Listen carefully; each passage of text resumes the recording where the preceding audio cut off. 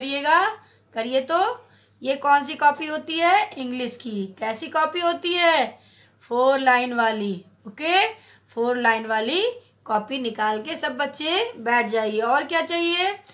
Pencil eraser लेकर बैठ जाइए। ओके? ठीक है? अब इसके बाद मैं आज है, मैम आपको कौन सा लेटर सिखाएँगी? सी फॉर कैट और डी फॉर डॉग देखिए, लेकिन मैम आज स्केच पेंसिल लिखेंगे और आपको पेंसिल से लिखना है। ओके? आप पेंसिल से लिखेंगे, क्योंकि बच्चे लोग पेंसिल से लिखते हैं और मैम लोग जब क्लास में पढ़ाती हैं तो चौक से लिखती हैं, लेकिन आज मैं कॉपी पे स्केच पेंसिल लिखकर दिखाऊँगी। चलिए तो शुरू करते हैं। ठीक है? ओके। तो सबसे पहले क्या करेंगे? डेट डालेंगे। डेट क्या है? आज का date nineteen one nine nineteen. Month क्या है?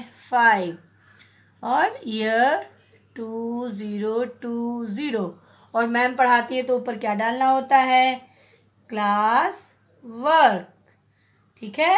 अच्छा दिखाई दे रहा है ना इससे ठीक है, लेकिन आपको पेंसिल यूज़ करना है। अब क्या करेंगे? अब यहाँ पे एक फिगर बनाएँगे। बनाते हैं ना? तो क्या पहले बनाना है?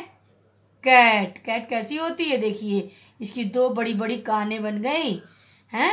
और यहाँ से इनका पेट बन गया, ये इनका पूछ बन गया, और यहाँ इनकी मूछ भी बन गई, ओके? क्या लग रहा है ये? सी फॉर कैट कैसे लिखेंगे? थ्री लाइन में लिखते हैं ना? तो यहाँ से, यहाँ तक मम्मा डालेंगी डॉट ओके?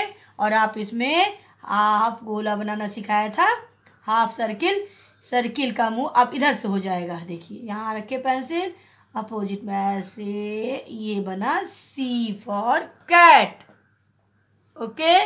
ऐसे ही बनाना मैम, मम जो आपकी मम्मा होंगी, वो डॉट लगाएँगी और आप लिखेंगे, ठीक है? अब क्या लिखेंगे? डी फॉर डॉग तो चलिए डॉग भी बना लेते हैं एक। ऐसे लाइन खींचो, ऐसे लाइन खींचो। यहाँ से मिला दो, यहाँ से मिला दो। ये इनकी दो आँखें बना दिया। ये बड़े बड़े कान बना दिए। है ना? और इनकी एक पूछ बना दी। यहाँ पैर बना दिया। क्या बना? डी फॉर डॉग कैसे लिखेंगी? पहले ये डॉट मम्मा डाल देंगी। आपको क्या करना है? लाइन खींचा, इधर से सीधी लाइन खींच दीजिए डॉट से डॉट मिलाकर। और इधर से मिलाते हुए, गोला बनाते हुए हाफ़ सर्कल बनाते हुए इसको ऐसे बना देंगे। ओके इसी तरह पूरे पेज पे आपकी मम्मा क्या डालेंगी? डॉट इस तरह। ठीक है? ऐसे मम्मा डॉट डाल देंगी और आपको बनाना है। चलिए एक बार और लिखते हैं। कैसे सी कैसे बनाया था? बिंदी ऊपर वाली बिंदी पे पेंसिल रखेंगे। गोला बनाते हुए यहाँ मिला देंगे। क्या बन गया?